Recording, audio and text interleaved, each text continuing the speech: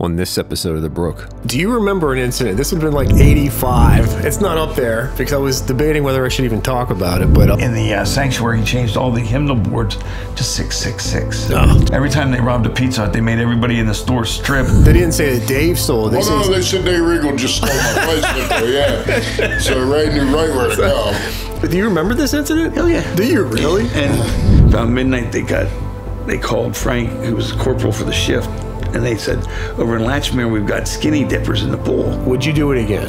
Oh, I would, in a heartbeat. Yeah. It was the best job I ever had. They're going along, and all of a sudden you hear this uh, 1291 County, 1291 County officer down, 2600 block of Walnut Street.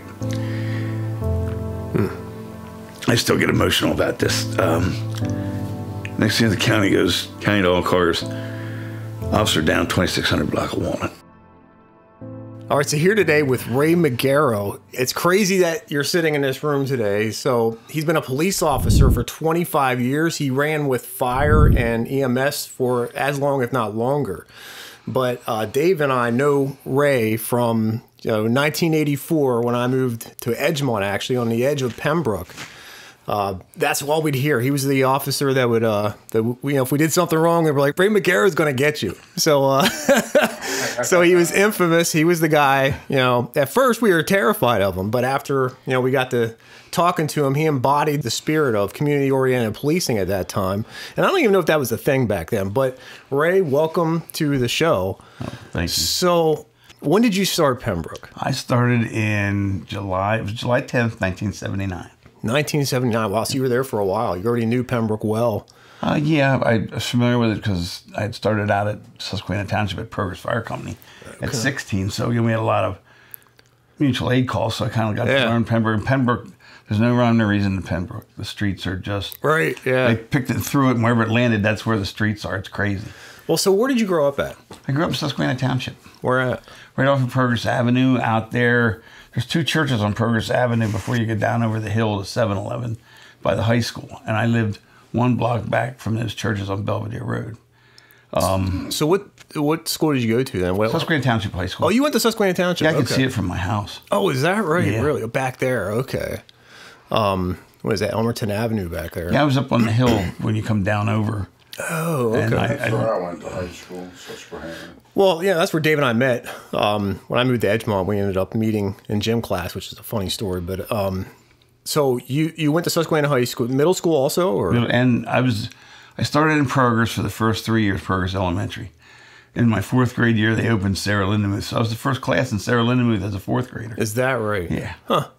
And I cried. I didn't want to go over there. Is that right? I love Progress. So when you, um, I mean, as a child, then when you're going to, where'd you hang out? I mean, because as far as I know, Penbrook was the only place where there was, uh, you know, like game rooms and stuff like that. Well, there was a neighborhood six, and that's what I called us.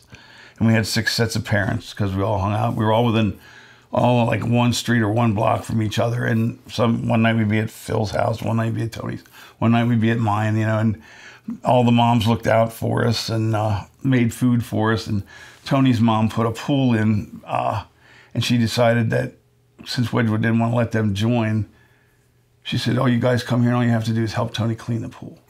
So it, it started off that way, you know, as our young young days. But we were inseparable. We did everything together. We and Phil was really into chemistry and science. He won the science fair at McDevitt every year. And uh, You we still talk to them? do well. Phil passed away. He got a, a nervous a nerve disease, and it, it killed him. He was actually Oh. a forensic pathologist for the state police. Is that right? Really? Yeah. Wow. Yeah, and I keep in touch with some of the other guys. Uh, Rick, I haven't seen for a long time. He was out on a uh, oil rigger out in the ocean, gemologist or something, but we haven't seen him for a long time. But the rest of the guys I keep in touch with. So at high school, did you play any sports or anything like that? Football, baseball. I was in the band. I absolutely love band. And uh, weightlifting club, careers in health, of course. I was a guard and a defensive end. I was 150 pounds and I was a guard. Oh, is that right? Yeah, and, and the, average- the biggest guy on our line was 180. It was Bob Herman. Oh, okay. But uh, we, we we were called the the mini max, I think they called us, and we were undefeated. And then we got that flood in '75, and Cumberland Valley and I and I, Susquehanna were both four and zero, and they made us move it to the end of the season. Oh. And we were like 9 and 0 and we lost to Cumberland Valley. We Oh, were very upset. What year did you graduate? 76, Oh, 1976. okay, 76. Yeah, I was a uh, centennial, bicentennial. Oh, okay. Yeah. So you get out of high school. What what do you I mean at that point I mean what are you thinking of doing for a future? Well, I wanted to be a paramedic. That was my goal all my life from the time I first saw emergency on television, believe it or not. yeah. And Adam 12 was a, another influence back then, which I'm still watching both of them every night till midnight right now. Yeah. And uh, the closest paramedic program was Chicago when I graduated. Really? Yeah, I didn't want to. I didn't want to move to uh, Chicago or out to Los Angeles. So I said, well, option two is police officer. So that's what I did. I went to HACC, got my associates in uh, police administration, and then I went to Penn State and got my uh, bachelor's degree in sociology with an emphasis in criminal justice. So you went straight from high school into college and with I mean thinking you're probably eventually going to do law enforcement. Yeah. Huh. And uh, I actually I got hired in Penbrook in '79. I was in my halfway through my second year of Penn State, so I had to skip a semester, and because the dates didn't quite match for the academy and the semester, so I missed January's. Uh, I missed two semesters. I missed the spring semester and then uh, the summer semester because I was in the academy. Oh, okay. And then the Penbrook left me go back that fall to get my. Oh, did they degree. really? Yeah, they left me off and, and uh, had someone cover my shifts so I could go back to class two nights a week. Would they pay for it at that point or I paid for my well, Yeah. I paid for my schooling, but what about prob- the academy? Did they send you through the academy? oh yeah, they, did they, they? state paid for the academy, and Penbrook had to pay me my salary, and they, they gave us uniforms, they gave us meal allowances. Oh wow. nine Okay. yards. Yeah. Oh nice. So back then was there a consortium type testing thing like they have now or Yeah, we, we I but it was an individual department, not like a like a group thing where you go in and then they have ten departments they can choose you from. Okay. Uh, it was just I tested for Penbrook. I finished second. I finished. For, uh, Minnie Myers was first, and I believe today she's either the chief of Mechanicsburg or just may have retired. Is that right really? But they hired her over me, or hired me over her, and I'm not 100 percent sure why. I got the job and uh, asked me how much my salary was when I started. A police salary back in in 79 you said? Yep. 79. Um I mean I would say what 10?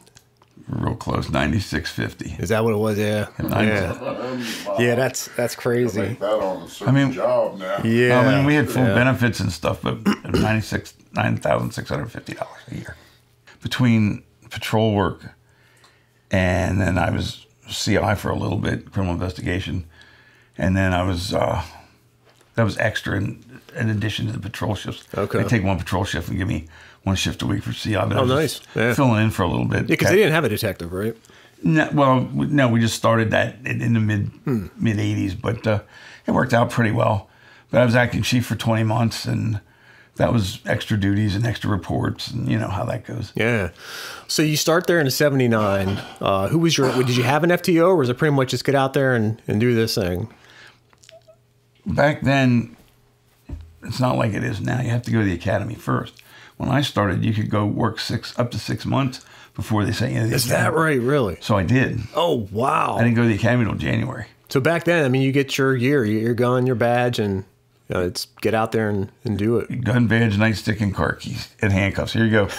and no, no, they did. They had we had three months of ride along training. Don't get me wrong. Okay, but, yeah. Um, I learned from Bill Eimschweiler and Mike Reynolds, and Mike was acting chief then, and then they moved Bill up into that slot when Mike went over to Hampton. And then something happened. They got unhappy with the department, and they moved me up into. They asked me if I wanted to be acting chief or they were going to go outside. So I said rather than disturb the department, I would do it. Yeah. So when did you take over as acting chief? I think it was somewhere around 83 or 84. Oh, okay, It was so it was- almost two years in that job. So you weren't there. Wow. Okay. Yeah, no, they, that, see, it was, it was kind of a design thing where they wanted to kind of like put me over the guys that trained me, and that didn't sit real well. Yeah, I can imagine. But we had a little, we had private meetings, you know, without everybody else. And I explained to the guys, we're going to do this democratically. And it was only fair because those guys trained me. So we had four guys. It was me and Bill Amschwager, Mike Reynolds, and Dave Heister. Dave started three months after I did. And then uh, we voted collectively on everything pretty much. Huh. But I mean, how long were those guys in policing when this happened? Oh, probably five, ten years. So I know the saying is you're a rookie until at least five years. Yeah. So I mean, technically, you were a rookie at that point. Yeah, they were throwing me to the wolves. We, we made we made it through there. I mean, I had some great guys to work with. They were absolutely phenomenal people to work with. Well, that's insane, though. I mean, they put you uh, in charge of the veterans. Yeah. And, and what what do you think made that decision? I mean, was that the was that the, the borough council that made that decision? or- Yes, it was borough council, and it had something to do with back then. Um, they, the political influence was big, you know, and the borough Well, council people still is right. Yeah, they came from all walks of life. They were electricians, carpenters, whatever, you know, and they, they wanted to be like, well, I'm we're in charge of the police department, and they just did it, in my opinion, just to, to mess with us. Oh, They wanted to create a rift in the department, and uh, I'm not sure why, but Yeah.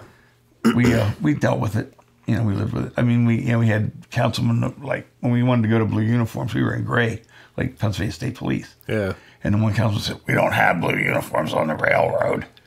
Well, Ben, that was 1960. You know, right. I mean, but yeah. things like that, you know. Right. Yeah. So I'm- um, 20 months you were acting chief there. Yes, I Making was. decisions, going to the borough council meetings, Yes. speaking on the department.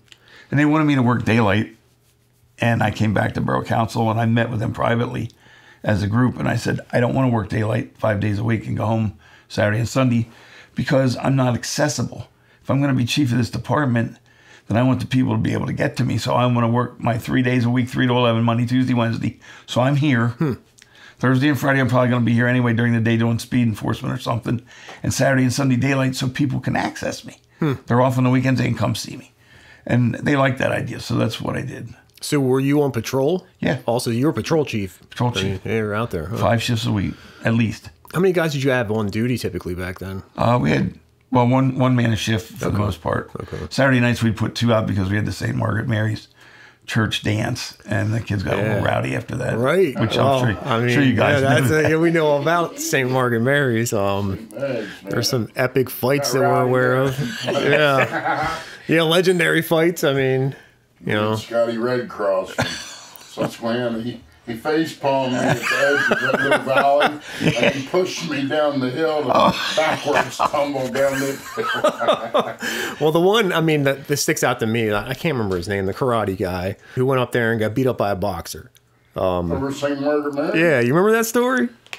You don't remember that guy? Karate guy, Clyde Armstrong, the only karate No, we won't mention any names, but he was actually he was in the Olympics for, for kung fu.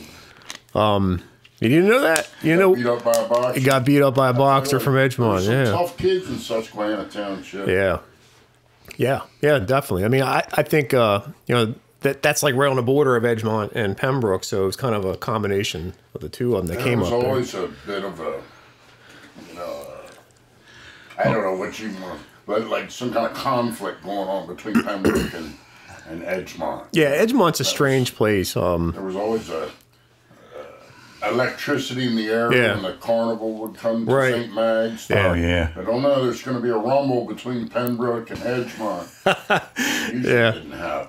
Right. Yeah. Well, you know, I, I still got to figure out. Uh, I'll find out who who that was. I mean, maybe that was a Penbrook Edgemont fight. I don't know. But yeah, I mean, definitely needed extra patrol units for that night. So who was your backup then? Paxtang was our. Well, I shouldn't say that. Paxtang and Susquehanna Township. Okay, Susquehanna. Occasionally the city. Oh, okay. If something big, um, you know, the city was coming too, but uh, most of the time it was Paxtang. Most of the time it was my partner in recruit school, Dave Buckwash. So Dave Buckwash is that his name? Buckwash. Yeah, Buckwash. So he was Paxtang. Yeah, and he also was part time in Penbrook. Oh. Um, Jack Harlacker was Derry Township, part time in Penbrook. Derry Township. We had we had a great group of part timers. We had like four from the Capitol Police Department. Okay. And all these guys were full time somewhere else, but they filled in. Yeah. And then I worked at Capitol Campus part time. Oh, okay. the police department down there. So how many full time positions did Penbrook have in the eighties? there was four full time positions, and later it went to five, where they added an, an extra chief, or added the chief as a position separately, and then he became the borough manager. Okay. So he was off the road. what do they have now? Uh, police chief, borough manager. But there's still five full time, or I don't know how many. I think they have five or six full time now. We were four full time and uh, five part time, so we had nine people. I mean, what's the first major case you had to work in Penbrook you can remember? I remember when I was pretty new, we had a, a man barricade himself in a house down there, 29th and Canby Street. It was actually the first alley back there by Ray Chevron. and he was shooting out the window with a shotgun. So we're they had pictures of us. We had I still have the newspaper article of us hiding behind the car. We're down crouched down behind the car. And the, the newspaper article said, "Who are these men in these dark blue uniforms? and what are they doing?" and it was our resident. Uh, I don't want to say this politely. Yeah. That He guy. He was our yeah. resident guy that liked to drink a lot. Right, right, And he got off the wall drunk and got off the wall upset. And Hmm. he just started, you know, shooting out the window and threatening everybody. And we, we finally talked him out of it. I mean, have you ever had to call QRT out? I don't know what Dauphin County calls their SWAT team. We had to call the bomb squad one night. We had a, uh, down there on 2600 block of Penbrook Avenue, right behind Commonwealth Bank, Forte Music had moved into a little studio there. And that, before they moved over to 27th Street, and then they moved out to Lower Paxton there on Mountain Road. But we had a, a suspicious briefcase that appeared in their waiting room where the students came in. And Don was very upset about it, so we finally decided to check it out. And rather safe than sorry, we called the bomb squad. So they came out and they removed it. And it, it wasn't anything. It was just somebody left their briefcase there. But Yeah. um, that was that was pretty wild that night. We were there for a few hours, and then we had the arsonist running around Penbrook. Uh, he was setting set the barn on fire behind the hardware store. He set he was going around all over the place and setting fires. oh, what year was that? never Um, had a business. That was About. about mid '80s somewhere. mid-eighties, yeah. yeah. I mean Wayne had that hardware store down there, Colonial Hardware, and it was incredible. Anything you needed, you could go in there and get. And if he didn't have it, he'd get it for you. I don't think I ever went in there. He had a big barn out behind. Dauphin Deposit was over here, and then Bank Street went up, and then there was the hardware store with a big barn. And this clown set the barn on fire. Oh, jeez. So we were out all night on that one until wee hours of the morning, and You ever catch the guy? yeah, they finally got him. Eh, and then it turned into the church arsonist. That hmm. was a big thing. He left us a message. One day we were running speed detail, and I went back to the office to get something. I went up Walnut Street, and I saw the it was Grace Method, Grace United Methodist on the corner there. and They had those red doors. Yeah. And I watched the door go closed as I came up to the red light. And it was like nine o'clock at night. I said, There's nobody in that church. So we surrounded the church. We went in there with two dogs hmm. and searched the building. And we couldn't find anybody. We got into one classroom downstairs. And he goes, You fools. You missed me again. Better Really? luck next time. He left us a note in the chalkboard. Oh boy, brazen. Interesting. Yeah, That's not the same guy that was burning down the barns. No, not to say a different guy. And then we had, uh, we, they finally got him. They tracked that guy with the churches. Um, he did a church somewhere, or he was going to do it. I guess it wasn't St. Margaret Mary's because I had him at St. Margaret Mary's. And it was like three o'clock in the afternoon, and the church called. They were all upset. So we were a shift change. So I went flying down there. We got in here in, in the uh, sanctuary. He changed all the hymnal boards to 666. Oh, jeez. And then he, he tore a page out of the book and it had a, a like a storybook about Jesus and the children. It said about how Jesus loves me and stuff. And he tore it out and he wrote, it said Jesus on this page. And then over here where it says loves me, he goes, he wrote not me. Oh, And stuck it on the piano. interesting. And uh, not long after that, they tracked him from a fire down through the woods and uh, came up in Harris Lodge Apartments there on Progress Avenue. And they Yeah. tracked him right to his back door. Do you remember when they were going around robbing the Pizza Huts? no. And they were the strip bandits? No. Every time they robbed a Pizza Hut, they made everybody in the store strip, put them outside in the freezer. Really? Yeah, I was working the night they did the one there on, Progress, or on Walnut Street right there at 34th Street. Side clock is important. And somebody went in there and there was nobody there. It was like abandoned. And I guess they went outside and they heard people beating on the doors and they called. And they were all in there with no clothes oh, on. Oh, jeez. in the It was a. Pizza Hut. Yeah, Pizza Hut. That Pizza Hut down there. I do vaguely remember hearing something about that. yeah, they, they were doing all the Pizza Huts. And I, I was like, it just, that, that was one we really wanted to get. I don't know if they ever got them or not. Huh. Yeah. About what period was that? In the 80s, Oh, early okay. 80s. Early 80s. Okay. So we were talking on the break about an incident of a motorcycle being stolen, and you were able to locate it. Can you talk about that a little bit? Yeah, it was it was like a, I came to work at like three o'clock and started my shift off on the wrong foot with motorcycle theft report. Right, it's like you know it's going to be a, a long day when you start stuff like that. So, I when I took the report from Robin Haverstein, he lived up on Penbrook Avenue there, up above the pharmacy, and I started thinking about it a little bit, and I said, "Well, I know where to start to look because there's a good possibility it might be there." So I went up the street and not even a block from his house. It was in the garage out back, and I heard him in there talking. So the door was open, so I just walked in and say hi, and there's this Kawasaki motorcycle being stripped that belonged to Robin Haverstein. I was like, "Hey," and they're like, "Oh, it's Magaro." I'm like, "Yep."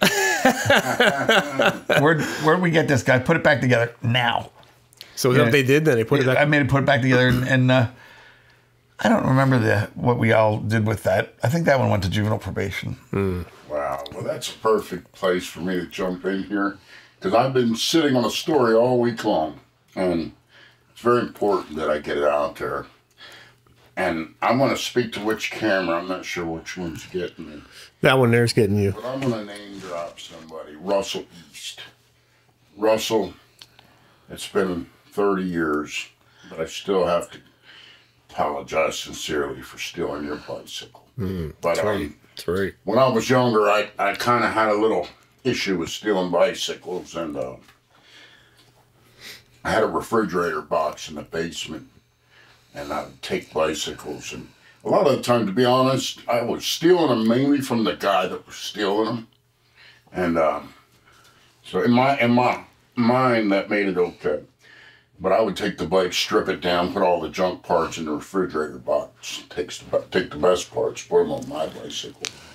But uh, at some point, Russell East, he was a kid we knew. He lived in the same apartment house, Yeah. Copper, and uh, 27th and Bow Street. he had a uh, he had bought a GT Dyno, which was the hottest thing at the time, and he had it. It would always sit outside of his apartment. I wanted that bike so bad.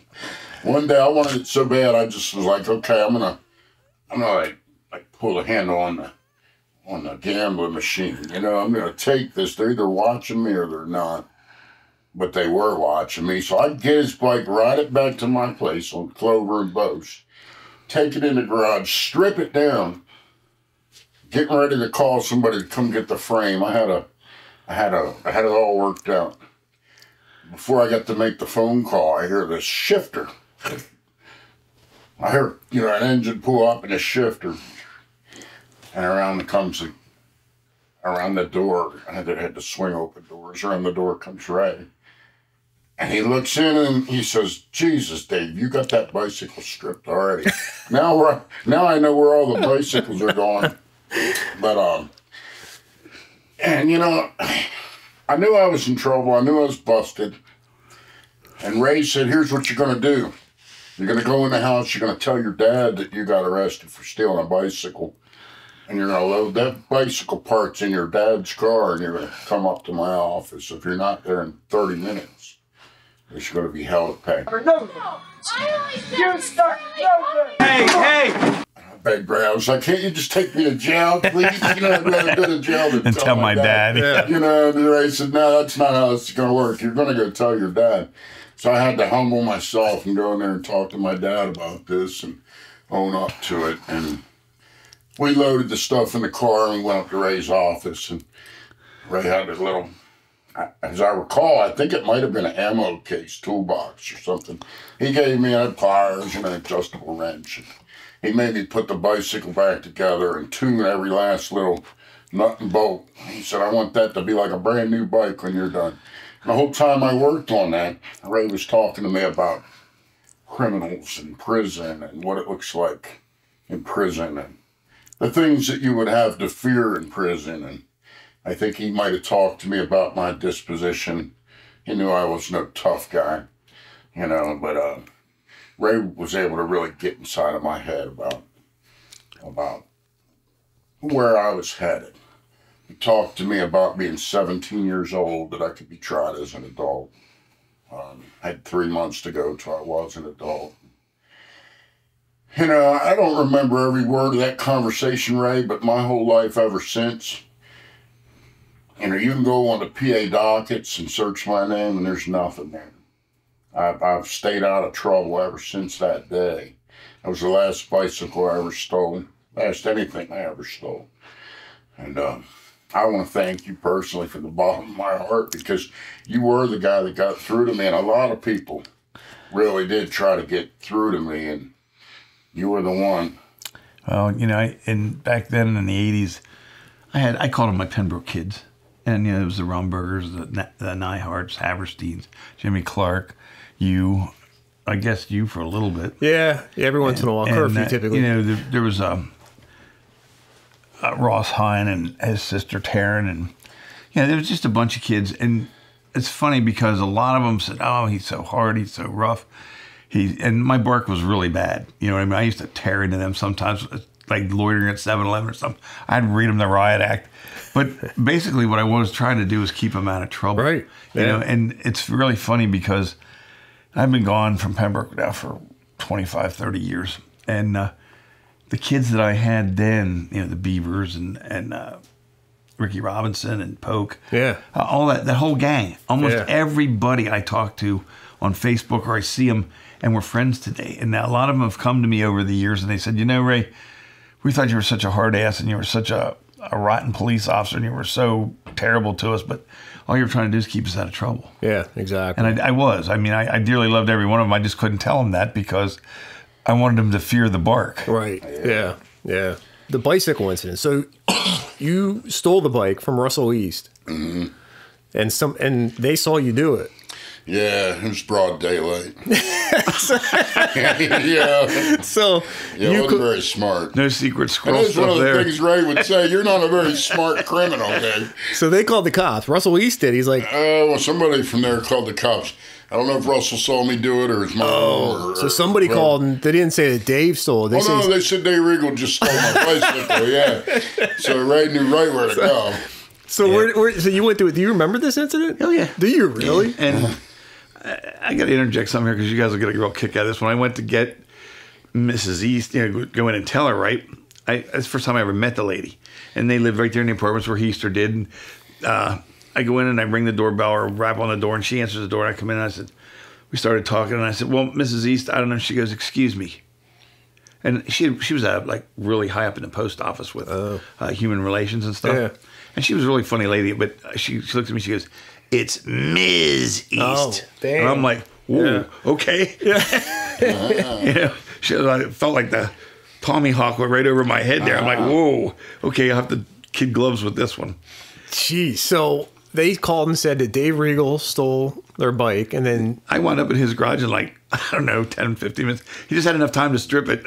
and this is the place on Boa Street. Yeah, Post and Clover down there, at, uh, close to the uh, old Unimart, Penn Supreme. Where was man. Penn Supreme at? right there. When you leave my house, go past my garage, hook a left. Get Oh, down by the alleyway, cemetery there. Get Yeah, down the Edgemont Road alleyway, there. Past Chuck Metz's garage on the left, where all the Yeah, old Chucky used to Metz. hang Oh my out. God. And uh, Yeah. that store, Dan worked there. Remember? Did he? I don't remember Dan that. got a job. We went in there and stole all the freaking I don't bars. remember that at all. But Dan couldn't see. You know, we were in there hanging out. He, he lasted like a week. I don't remember that. Mr. Hall, we seem to have an inventory problem here. We're not going to be able to employ you any longer. No, I don't remember that at all. Dan. So yeah, so they, he went through your garage. You had the thing stripped down already. Yeah. But I mean, I don't know if you want to talk about your bike shop at all. Yeah, sure. I was a well, I was a well-oiled machine, man. So Dave had a bike shop in his basement. Um, so he wa- he was better at it than than that incident. So I'm not sure how he got caught because he had a, a, a catalog of bikes Well, in his the- basement. The daylight stunt and you know, just had to have it. Yeah, And, man, it, was, it was just Had like, to have it. Yeah. yeah, that That's was what it was. man. I wanted it so bad I could taste it. And What- I'm what was it? Do you like, remember? I'm willing to go to jail for that for that Dyno. That was know? a Dyno. Yeah, oh yeah, those things are really. Yeah, They, yeah. they were getting a lot of them. Yeah, and uh, I took it broad daylight. But, you know, I had a friend, I'm not going to say his name, but he stole a lot of bicycles too. I didn't actually steal a lot of bicycles, like go out and hunt them down and, you know, sneak in the garage. I mean, we did it a time or two, but we always went to a different town. Oh yeah. But he did it a lot, so I didn't feel bad stealing a bicycle that he had already stolen from somebody else because I was kind of. Oh wait, East. No, no, no. Oh, no, oh, this no. guy. No, just a guy, a friend of mine, real close friend that I'm just not willing Yeah. to name. Yeah. Yeah. Camera. Yeah. But he stole a lot of bikes. And, well, you know, Yeah. tit for tat, you know, he would do douchey stuff and I would steal a bike from him. Yeah. You know, make all his hard work diminished. And uh, he stole really good bikes, so I, I would strip the strip the bikes down, put all the best parts on my personal bicycle, Right. Which was a Super Goose that I had. That was a sweet bike, yeah. and um, the rest of the parts would go into this big refrigerator box that I had in the basement. And people would ask me, "Hey man, you know, I need a set of cranks. You got any cranks?" And I would say, "Yeah, I got several cranks. You know, come on over and take a look in the in the refrigerator box. You know, we'd go down there and tip the box over. I got a part for my red line down there. dig out some stuff. If I don't, I don't have one. I'll get it for you tomorrow. yeah, yeah, something like that. Yeah, I'll have to order it. You know? but uh, but no, I mean that, that's kind of. I didn't have full bicycles down there. I didn't have frames down there because there was a guy. I'd call him up, and twenty minutes later, I'd hear a whistle from down on the corner there toward toward Herr street. As soon as I'd hear the whistle, I'd just stick the frame out the garage door, and he would grab it on his bicycle as he drove on by. He'd be gone. He would sell that down in the city, and Yeah. you know, they, they had Right. buyers. You know, Yeah. supply and demand. Right. Yeah. Oh, we had a lot of But, uh, bicycles disappear into the city. We used to see kids come out. They come out three, four, five at a time, right? And they're riding one or two bicycles. The rest are walking or they're they're riding double, which we put an end to that because no, you ain't riding double. Yeah. Yeah. And uh, next thing you know, twenty minutes later or an hour later, you'd see them going down Walnut Street and they're all riding a bicycle. Yeah. Right. Well, yeah, so I mean, it's pretty obvious. I, I chased two down down there right below the park side one night, and they went. They were up. I didn't chase them, but I, I knew where they were going, and luckily I just happened to see where they stopped. They went up on a porch, and they were up there stripping this bicycle. I'm sitting there watching them. They had no idea it was an unmarked car, Uh. and I'm, I'm watching them take it apart, take it apart, and I, I knew they stole it because I know where it came from. So I, I bagged them and got mom and dad, and they came out to the office. And needless to say, mom and dad were flipping a gasket, but yeah. um, we had we had a lot of that stuff, but you know, back in the '80s, policing's a lot different than it is today. yeah. It was uh, when I started in Penbrook, it was a retirement community. Yeah. A lot of older folks, a lot of retired people. Um, believe it or not, a lot of the problems I dealt I dealt with a lot of the juvenile stuff. Yeah. and I dealt with uh, traffic safety. Those were my two things. Oh, okay. I mean, we did it all. Well, there's a lot of juveniles. I mean, there's a lot of us running around. Yeah. know. I mean, it was a, a lot of like a lot of juveniles there. I mean, there's a huge group of us kids in there. Huge. Yeah, a lot, a lot of kids in there. Yeah. and it, it was you know, a lot of mischievous stuff. But you know, everybody says about police departments and stuff. Back then, if I had to guess, I'd say I spent no more than five or ten percent of my time doing police work. Hmm. The rest of the time, it was there's a bird stuck in my shingle. right. Yeah. Garbage disposal Yeah. doesn't work. Sewer in the basement. And first line of defense is the police department. Yeah. They call us for everything Right. because you're out there. Baby squirrels in the in the yard. Babes, we had two squirrels over a tree out in Linglestown. We went with a tower truck. Yeah. They had their tails knotted together, so we had to rescue them. Yeah. A million dollar tower. How do you get a squirrels with their tails? Yeah, they, they were fighting. They were hanging over a branch fighting each other. And the lady called. We went up about 75 feet with the tower truck. We went up there and my son was actually in the basket and he uh, had to put the heavy gloves on and grabbed them and brought them down. And those squirrels, we have our picnic out there every year. Those squirrels are still there. She cut their tails off. That's the only way we could get them on. Really? That's a, that's a heck of a price for the taxpayers over a couple of squirrels to bring a tower truck out. And Yeah. Well, I, Imagine what that's that would true. cost It- today, yeah, I know. Yeah. Four, Yeah. four or five thousand dollar taxpayer cost just for some squirrels. Yeah. Come on, man. BB I know. gun. What? I had BB Penbrook. we had a, a pigeon trapped in a wooden shingle there on Walnut Street, like right across from Bow Street. We went up on the north side. Yeah. And the guys came down the fire engine and they are just ranting and raving at me. And they said, What are you calling the fire department for? It's public service. I said, Just put the damn ladder up and I'll go up and get him myself. I said, I am a fireman. I know how to climb Right, the ladder. yeah. No, Ray, we'll get him. We'll get him. I said, But what are you doing? It was cold out. You know, it was like four o'clock in the afternoon, rush hour. Got a fire truck sitting there with a ladder.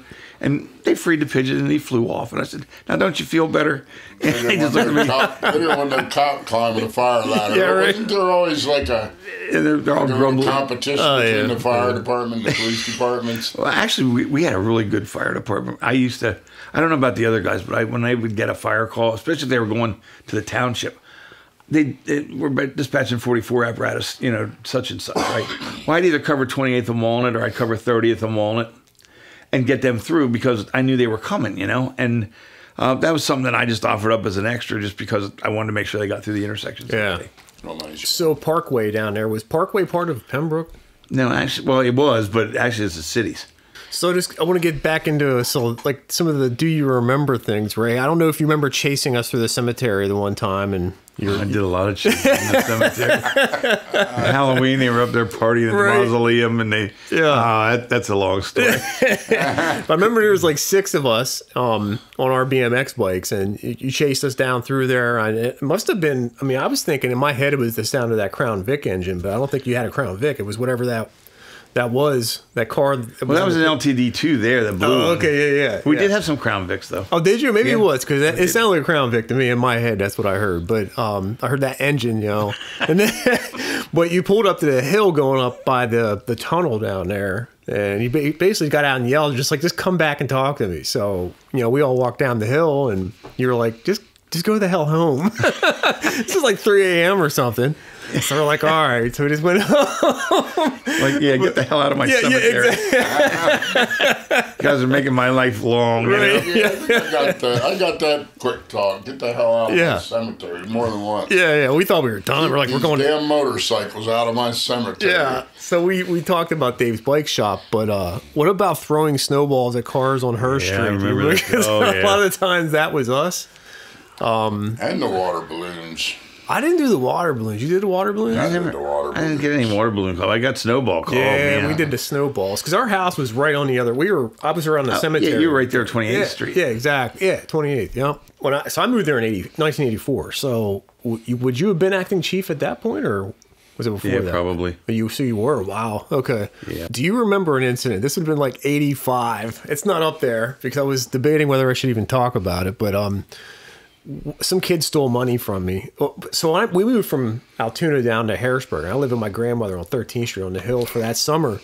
And then uh, I made friends down there with you know city city kids. But uh, so we when we moved to Edgemont, um, I uh, this kid came to my house. He ended up stealing money from me. We saw him steal it. He tried to act like we, you know, he didn't. We didn't see him, but we did. So we took him down to the, the tunnel down in the cemetery and made him walk back the tunnel. And he ended up coming out the damn street on uh, Herr street, come out of the manhole. I don't know if you remember that, but we were like, "Why isn't he coming back?" No, I don't He climbed out of the manhole. There, all we heard was sirens everywhere, and we're like, "Oh, we're dead." You know, we're, we're going to jail for life. Oh, guy on that one? No, because the story is so John Yerger, I don't know if you remember him. He was with us, and this is what he claimed. He walked over to Herr street, and that he was sitting in the back of one of the police cars. He said it was a Penbrook car, and um, so maybe could could have been a part time guy or something. But well, yeah, he said he told the kid to, to go home or he's going to kill his family or something like that. And the kid got out and went home, and my we never goodness. we never heard anything about it. So John told the kid that's that. what he said. John But could be pretty convincing. yeah, I know, right? yeah. Back in the day, I drove bus for Central Dauphin. And I was a police officer the whole time I was a bus driver. Oh, is that right? I didn't know that. Yeah, Huh. and uh, I had a lot of, a lot of intermingling there because the kids in Penbrook, like I, I would drive. In the beginning, I drove uh, like spare. Okay, you fill in whoever whoever's not there, and then I started driving five mornings a week because I worked three days, three to eleven, and I was off Thursday and Friday. Well, they Thursday and Friday they'd give me the Penbrook runs in the afternoon if they were open because they were called the runs from hell. And Really? yeah. So the first time they gave me, you know, these kids were, were off the dial on the bus. Oh. There was four runs. Huh. So I, you know, I, I covered them. Um, and I come back like the first day I come back, or the first Thursday and Friday I come back, and they're saying, "Aren't you frenzied?" I said, "No, why?" They said, well, "You just did a Penbrook run, didn't you?" I said, "Yeah." I said, "Didn't they? Didn't they act like total animals and crazy and all that stuff?" I said, "No." Yeah. They said, You're kidding me. I said, You could hear a pin drop on that bus. I said, You thought you were in Sunday school. And they looked at me and they said, Well, how'd you do that? I said, They know me. Yeah, I right. said, I told them, I said, not Ray Magaro's not a cop today, he's a bus driver. But when you cross the borough line, Yeah. if you do something wrong, you're mine. Yeah, that's your jurisdiction. I did. I said, "That's my, you're mine." I said, "Order up to. I said, "I'm, I'm in 24 hours when you cross the borough line, so go ahead, make my day." You know, like Dirty Yeah. Harry. Yeah, that's great, And yeah. you could hear a pin drop on any one of those four buses, Right. And it, it was funny because they they all knew me. You know, Was Central Dauphin kids were going to living in Penbrook? well, yeah, they, that's where they go to school. Central Dauphin. We used to have Penbrook Elementary. Yeah, so I'm just because I went to Was- Susquehanna. I'm just wondering what where that line was. Well, you know where the big elementary school was in there, don't you? Right up over the hill from the hardware store, back there on uh, Elm Street. I don't think I did. no. Well, Roberto's is down here, and then it was Dauphin Deposit Bank. No, Skip up over the hill, you run into uh, Penbrook Elementary. That was Central Dauphin. They gave that to us for a while. We were in the office over there for like, I don't know, a year or two. We had that. Wait, we're, we're like by Zimmerman's Candy? Right across the street. Oh, Yeah, is that what the bad kids Okay, I thought that looked like a school, but it, yeah, that's, wait, was that's that the a school? Yeah, it was the old Penbrook Elementary School. All the bad kids went there. Yeah, and then they moved it out. They shut it down and they gave it to the borough, and the borough put the police department over there. We had a gym. We had all kinds of things. And there for a while, for, for quite a while, while we were in there, I started a, a recreational program for the kids Really? because they, yeah, they all complain we don't have anything to do. We don't have anywhere to go. Yeah. And some of the people's answers, were, well, it's not our responsibility to entertain you and stuff. But I said, I went in on my own time, and I think it was at least two or three nights a week when I was off. I would run a rec program. We'd open up the gym and play volleyball, basketball. Wow. Okay, I didn't know you did all that stuff. Was Yeah. that this the 80s also? Yeah, in the eighties. Huh. Yeah, we didn't even know about that. We were making our own fun. Yeah, no, I, I, I wanted to do something for the kids, so I, I gave that time back to them, and I wasn't getting paid. I didn't care. Yeah. It was it was I was all about the kids, and that's what they didn't understand. They couldn't understand why Ray's so hard, but yet he's doing all this stuff, you know. And Yeah. it was like Yeah. I dearly loved them all. I just didn't want them to get in trouble. Yeah, exactly. Well, I mean, it, it, you know, I don't know when community oriented policing became a thing, but I mean, it was obvious that that's what you were doing back then.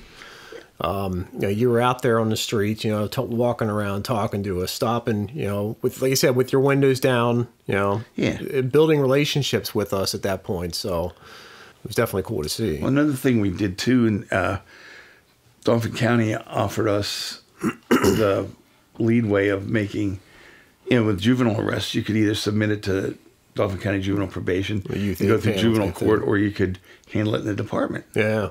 So a lot of the times, cases that would have gone to Dauphin County Juvenile, I did a department probation program, which I it was an individual thing. If I got you, I made it to fit what you did. Okay. If I got you, I made it fit what you did. Okay, and it was they were never the same. Yeah. But I had them writing reports. I had them bringing their report Oh, cards to nice. me. Yeah. They had to report once a week when they got off the bus at three o'clock and come in my office and see me. Yeah. And they had curfews, and I said, the first time I come to your house and you're not there, you'll be in after school for a month.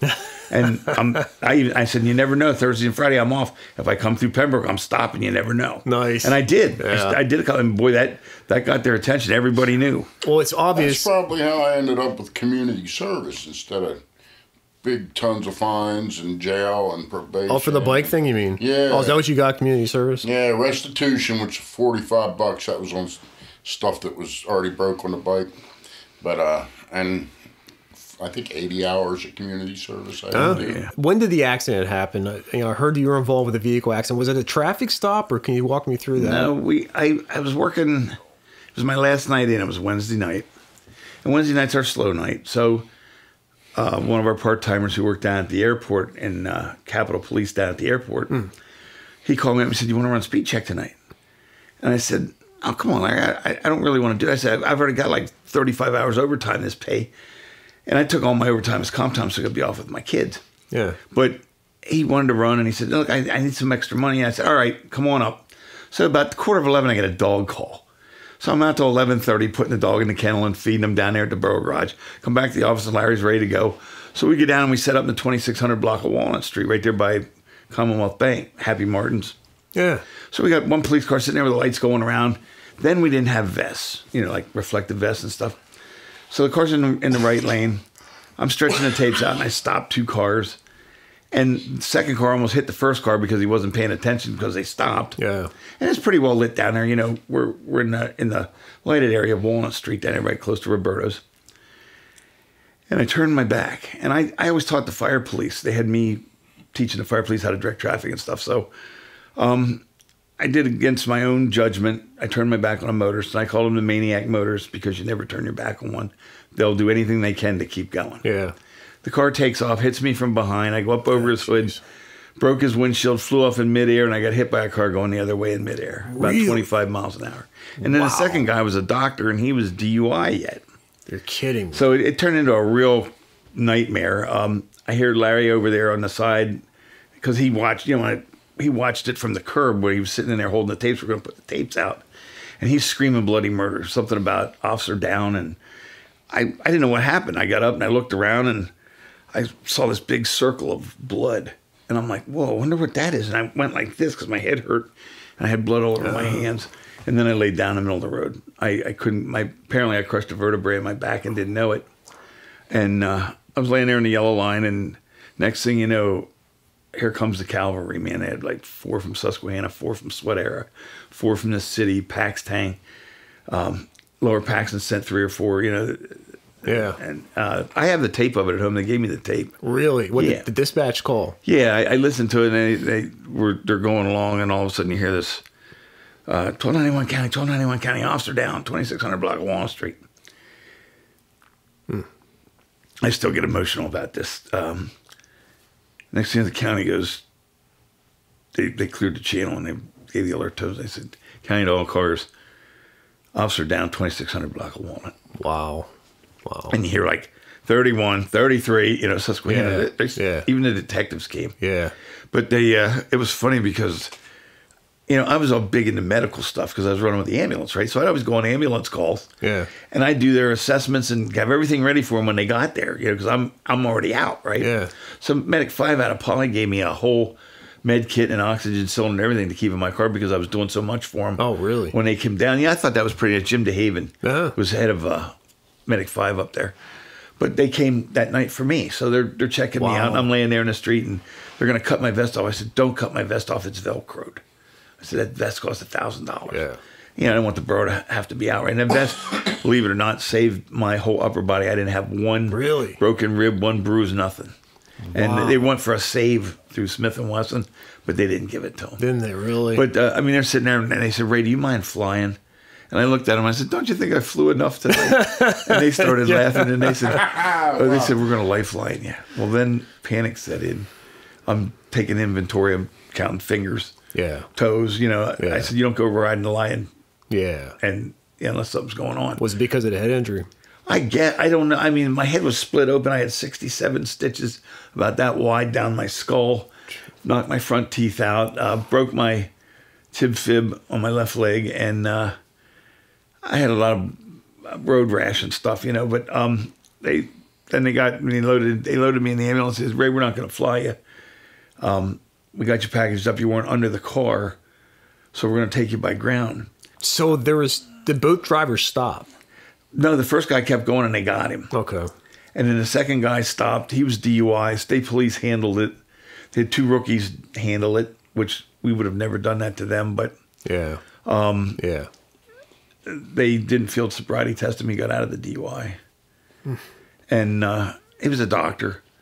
But uh, it was it was quite an ordeal. I was off work 16 months. Jeez. I went through a lot of uh, therapy and stuff. When I went to the orthopedic surgeon about my back, they said we're not going to operate on your back, but it's going to be about a year. And I, I was I was telling the guys I'm going to be back to work in two weeks. You know. Yeah. And I came off the table with this guy in crutches and a leg brace and everything else. I, I was going to try and hand him his head. I said, "You're not keeping me off work for a year." Yeah. And it wound up being 16 months, and uh, I did go back. Did you really? Yeah, so what go- year was that? I was July 9 or June 19th, 1991. Oh, 91. And Okay. the bad thing about that was on Sunday we were leaving for the shore. Yeah, jeez. I was off Thursday and Friday. I took Saturday off and we were going to leave for the shore Sunday. We never made vacation that summer. Jeez. I went, I went home the next day. They wanted me to keep me a week, and I said no. yeah. And I went home the next day, and my kids thought, I mean, my head was shaved here, and it was all stitches and all blood and everything. And my kids thought they saw Frankenstein. Wow. So how? So how long after that? Then I mean, how long did you stay in the policing? Um, did you make another I guess I don't know how long was that. Ten years, I guess. another ten years? Then you did after that. And then I came up and I went back to Central Dauphin full time driving bus. Oh, really? Oh, that, that's an incredible story, though. So yeah, yeah, hit by two cars. Yep. And that was on Walnut Street there, Yeah. on the main street. Both of them were about twenty five miles an hour. Jeez. And I said, well, that's that's probably the only well, the only other time I got hurt, I chased Jimmy Clark back. They had closed hallways between the houses there on, uh, Bruiser Avenue, mm-hmm. and it was like house, house, and it was like just a hallway between the houses. It was all closed in, and they were doing something. I jumped out of the car and chased them back through, tripped over a ladder and tackled him. Oh, jeez. And when I did, I sprained my ankle. and I'm laying on top of him, and I'm, and he's going, "You okay?" I said, Yeah, I said, just get out of here. And I, I crawled back through the hallway Are into you the police serious? car. Really? Yeah. Oh, and I, I was off work like a month because I, I messed up the ligaments in my ankle. Right. That was right when I first started. That was like December of, of the year that I started. Yeah. And uh, January, I was supposed to leave with the uh, fraternity, Theta Chi. Oh. We were supposed to go to London. Oh. And they said, Ray, you can't go to London on crutches. I said, What do you mean I can't go to London on crutches? I said, Put a skateboard under it or something. and they said, You can't go. I actually met my ex wife in Penbrook. She Oh. lived there right where I got run over Oh. in an apartment. And uh, I had a couple of different calls with her. Uh, some girl was harassing her and coming there and causing problems. And um, one thing led to another, and we started going out. Next thing you know, we about a year later we got married. You know, Really? Yeah. What year was that? Um, 1985. Okay. So you weren't married when in I '84 was- when I moved there, and you were chasing us around. You No, I was single. Single. Yeah, But you end up meeting some a Penbrook girl. yeah. She lived there in Penbrook, and her, her grandmother. In fact, her grandmother. They lived on the second floor above Col, right above Colhane's Market there. Oh yeah, yeah. And grandma used to watch us run speed enforcement at nighttime because she was in the she'd sit there in the window at night. Yeah. She was a night out. She watched me get run over. Oh, oh, she saw it happen. She saw it happen. Oh, jeez. And you were already seeing each other at that point? Oh, yeah. Oh, Yeah. boy. So how long were you married to her? been panicked. Uh, we got divorced in '95. Okay. Well, it didn't last too long. Twelve it was twelve. Well, no, wait, 97, 12 years. Okay. So and she's one of my best friends today. Believe it or not. Oh, is that right? Really? Yeah, we're very, very good friends, and we have two wonderful children, and I have four grandchildren. Oh wow. I was going to ask if she was the mother of your children. Yeah, my youngest is a Baltimore County fireman, and uh, actually a captain now. Yeah, that's And crazy. A my captain of daughter's a Baltimore County. Teacher over at Cumberland Valley. Oh wow. Okay. She used to be at Susquehanna. really? Yeah, and Huh. uh, I, I can't say you're gonna have to stop me on my kid because both my kids, but my son, I get that get to get out and ride with him. Yeah. and yeah. that, that was one of the, the greatest experiences. I do it like twice a year. that I is see cool. those Yeah. pictures you post on Facebook when you get to do that and see Oh how man, I proud you oh, are. it's incredible. It's such a rush to run with a paid department. So that, that's a Penbrook car. That was the first Penbrook car. That was a '79 LTD2. Paxtang had one one number away on the serial number. Oh, really? number, Yeah. And theirs burned up, went up in flames. We were over at A and P one night at four o'clock in the afternoon. Watched it take off. Oh, jeez. Jeez. had a 460 in it. nah, 351. It was like Windsor. Yeah, Yeah, I was just say that Cleveland's were early 70s. So does that have a cage in it? Yeah. Okay. Oh yeah. Ray, were you involved in fighting the TRW fire? I was working that night in Penbrook. I took actually took Mayor for Lizzie, out for Lizzie, down, and we sat there on the hill there on uh, Herr street and watched it. I climbed out on the roof of my house at Boas and Clover and watched it from there. Yeah, no, I was It working in it was Penbrook. the biggest night. thing I ever saw on fire. Yeah, that was crazy. Um. So what is that other car? That's a, Dodge Aspen, and then the one's the Chrysler LeBaron that I have. Okay. Oh, LeBaron. I was thinking Diplomat. Yeah, that's a LeBaron. You guys had fancy Chryslers. What, yo, what what year you think that is? Uh, 81. Oh, That's an 81 LeBaron. But the, the cars I like best were the Crown Vics. Yeah. And, uh, we had some Yeah. Chevy uh, Impalas. That's probably the car I first saw you in. When they were like, that's the I just, I love those light bars. I used to take them off every Sunday morning and polish the lenses. Oh, really? Yeah. Yeah. Yeah. And that, that light on the top, you could spot airplanes. You could, I could search the whole park area down there by the pool. Just ride down Bow Street. And we had spot and flood. And it, it was like Oh, a football that is field. It was- really nice. It was incredible. So where was that picture taken? You remember? Um, that's not the Parkway because it's Macadam. I don't know where that is. Do you remember Dead Man's Curve in Penbrook? Why they called it that? Is it down there to turn around? In the mid- about in the center Middle of the there. Parkway. Yeah. It was, uh, from what I heard, it was Gary Straw riding a motorcycle and Shane Berger is on the back. Hmm. And they crashed going around that corner. Somewhere, somehow or another, there's no seal on that door, and I don't know why. Oh yeah. But we had we had the white Penbrook police patch on that door. Is their patch the same now? Do they have the same patch now? I think they went to another one. Oh, okay.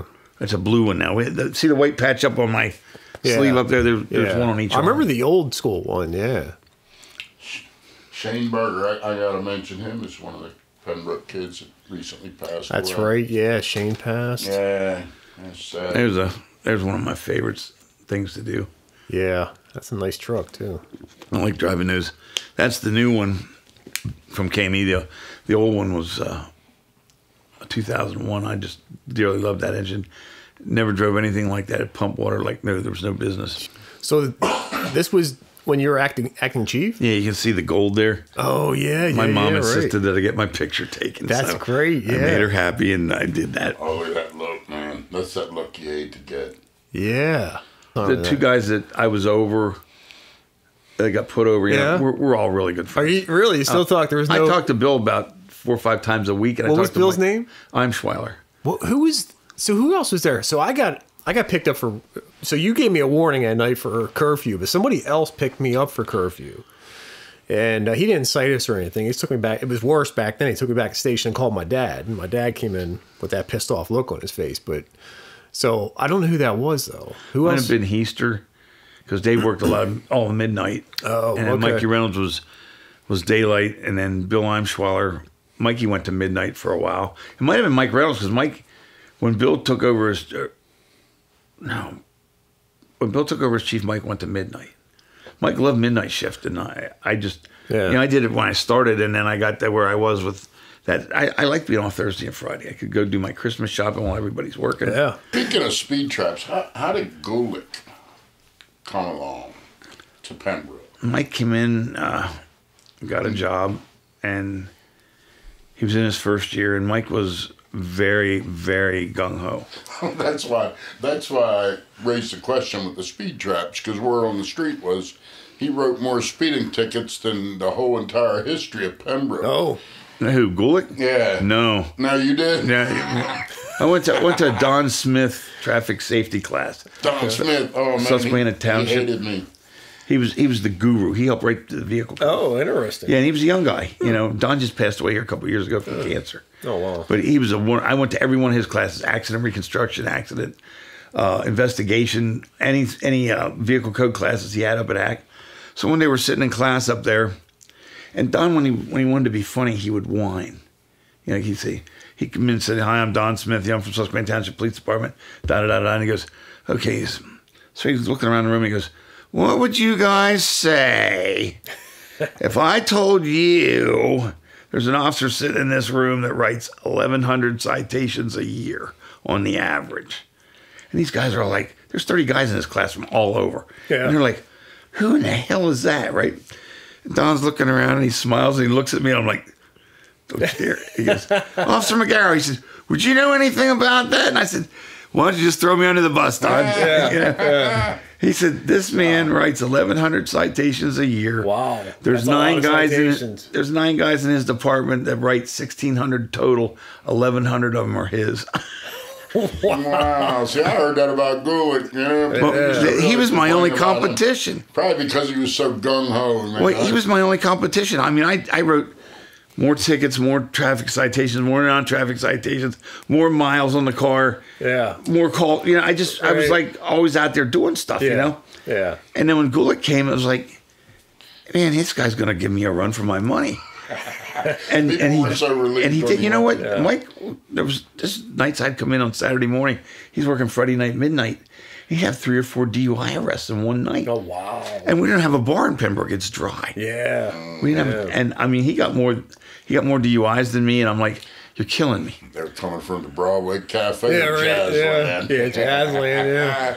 Um, did you guys have central booking there? Yeah, we went down to well, there for a while. We were doing our own processing, so Oh, okay. we did fingerprints, we did photographs, um, we did the arrest report. I, me as a juvenile officer, I, I got to do a lot of juvenile allegations, and actually went to court. And when I went to other departments and seeing them arrest juveniles, they had to get their CI guys to come in and do it. They didn't know how to do it. Wow. So yeah. we got a much better education being Yeah. one man per shift because we had to do it all. oh, we did. Interesting. So was your central booking still at the uh, out by the East Mall there at the Well, prison? no, I guess. no, no, no. Back then it was down at City Hall. in Oh, okay. I remember one time we had a we had a big snowstorm. All the police cars they all broke chains and wrapped around the axles. So they asked me if I wanted to ride my snowmobile one night. Ah, where in Penbrook? Yeah, in Penbrook on duty. It was I've got a foot of snow, so I rode the snowmobile the whole three to eleven shift. Really? Yeah, I had a cord mic, mic stuffed up in my helmet, and I get over there to Franklin Street off of Boas, and there's a bunch of kids sled riding. It was the Nichols and um, Kirschners and all of them. They were all up there sled riding. And I pull up and they're going, wow, look at that snowmobile. You know, shut it off, took my helmet off, and they go, oh, it's Magaro. Yeah, right. I said, hey, what's up? I said, who's beer? Yeah. And they all looked at me like, what? I said, whose beer's that? They had like two cases of Rolling Rock sitting there. Yeah. They said, I said, how many people are 21? And everybody looked around like, no. Right. Yeah. I said, imagine that. I said, uh, so you're going to take our beer, you're going to take it and drink it. I said, I don't drink beer. I said, so here's what we're going to do.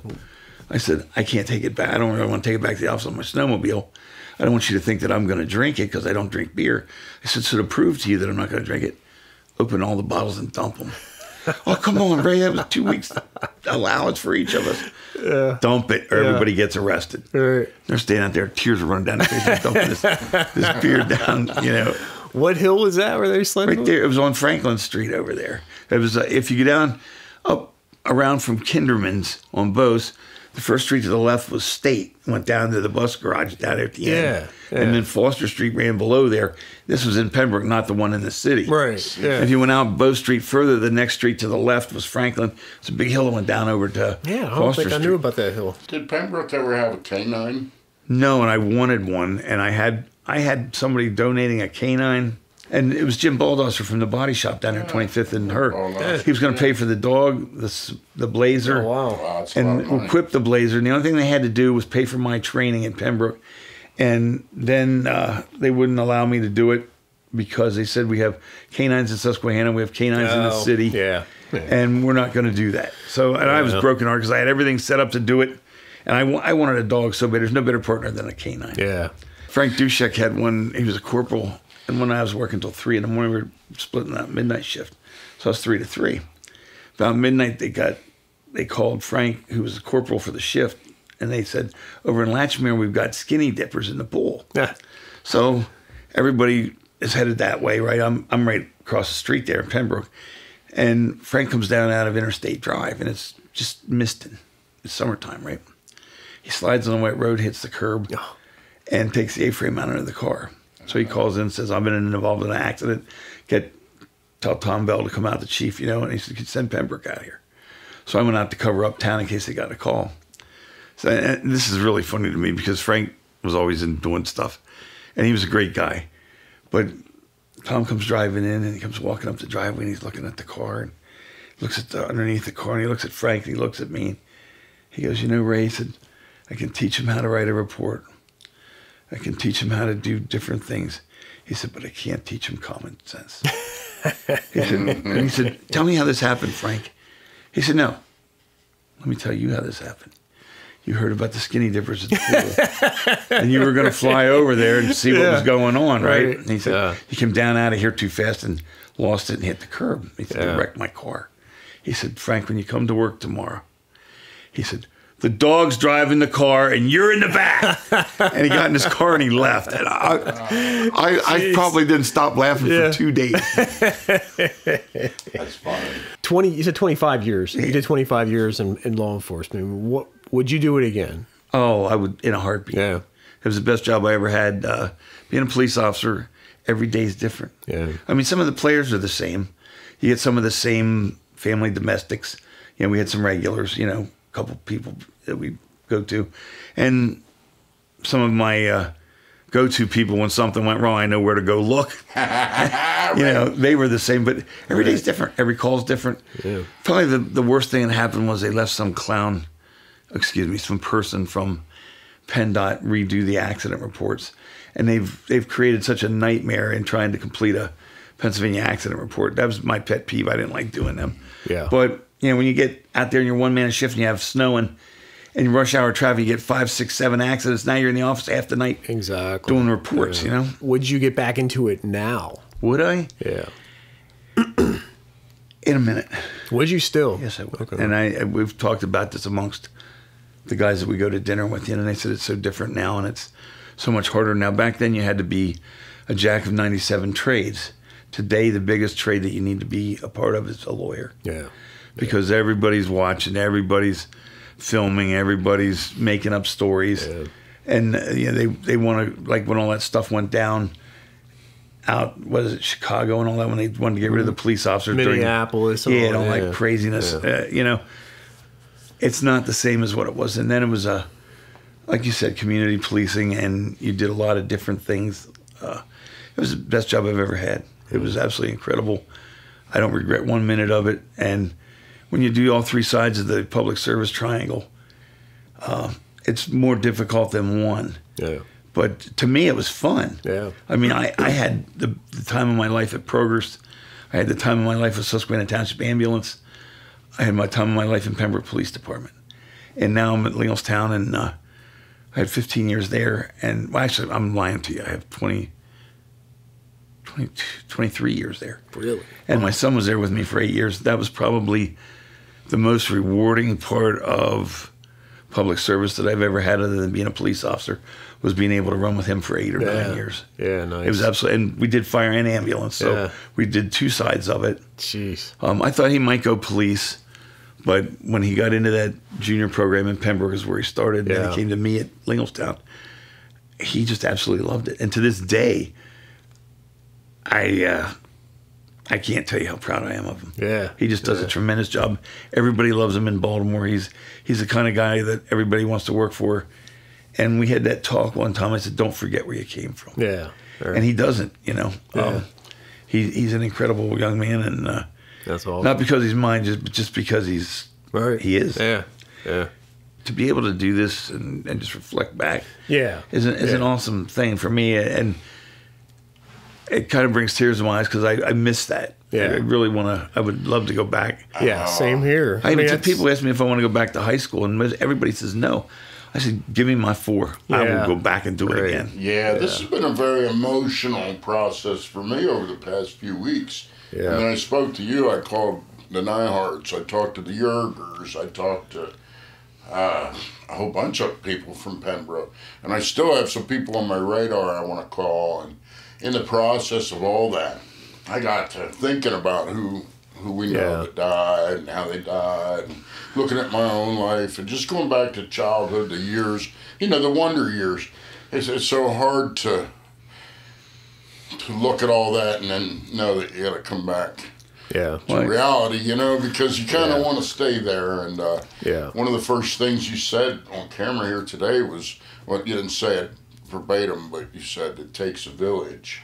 You were talking about how all the neighborhood six, whatever. Um, you know, it did take a village, and, and you don't see a lot of that anymore. You know, and public service, that's part of public service. You know, there's so much, there's so much that used to happen that doesn't happen now. Things are so different. So, you know, the process of talking to all the kids from back then, which are, you know, half of them aren't even alive anymore. Yeah. Uh, Yeah. I, mean, I, I got started very in this with uh, emergency in Adam 12 growing up. You know, the, the kid, at, you know, at the window.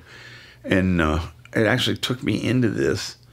When I was in high school, they used to come and pick me up for ambulance calls because I was one of the few that were 16 was an EMT. Jeez, that's and crazy. we were we were short people, so they'd call a school and JT Duke or somebody would roll in with the ambulance, pick me up, and bring me back to school. and then when I hit 18, I was in the fire company, you know, and uh, the, like I said, it was, it was a very rewarding um, time. Sometimes I say, if my mind could only forget what my eyes have seen, because I've seen so much good and so much bad. Yeah. And Yeah. pretty much just about everything. I had Buddy Stoner from Penbrook, you know, when he hung himself, and uh, it's been, I mean, a lot of good up and down and in and out, but I wouldn't trade it for the world. Yeah. Well, I mean, you know, we're, you know, what is this? You know, we're, we're in our 50s now, so it's 37 years later, and you made an impact in our lives with, you know, your method of policing back then. So, you know, we want to thank you for you know, everything you did back then. So, you know, the, the fact that you gave us, you know, that chance by, you know, talking to us, trying to talk sense into us, you know, and, and um, not going straight to just, you know, charges to, you know, just to get it done and over with was, uh, you know, we definitely appreciate it. Well, when we learned in the academy, you know, that uh, about law enforcement and discretion is a big part of that. Yeah. And they used to tell me, one of my friends used to accuse me of being such a, a hard ass and such a uh, traffic guru. You know, when we run speed check details, you're out there slamming everybody. And, I, and, and most people don't know this. If I stop somebody and I looked in their car, and they had four kids, Yeah. and they were not of the. One has stuff running out his nose, and they were they were dressed mediocre and stuff. You know, it wasn't worth a traffic citation to me to write them and take food out of somebody's mouth. Yeah. So, as much as I hate to say this, I gave her a warning. Yeah. You know, and uh, that's part of discretion. Maybe it's not fair, but in reality, to me, it was because I, I wasn't out there for quotas. We never had a quota. Yeah. Right. You know, people ask you about that, and our, our chief, and when I was chief, no. If I wrote one citation on a detail, or I wrote thirty or forty on a detail, it was just that's the way it was. Right. You know, whatever Yeah. way it fell Yeah.